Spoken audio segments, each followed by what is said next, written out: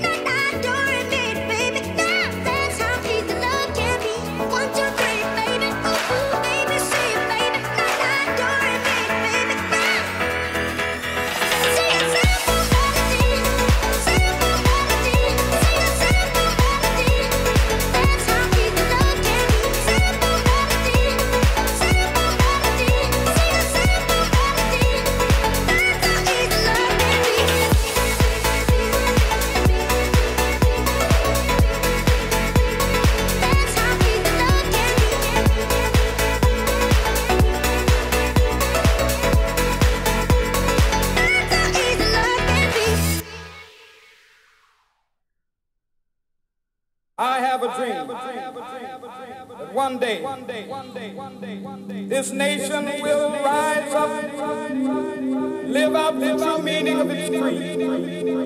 We hold these truths to be self-evident. that all men are created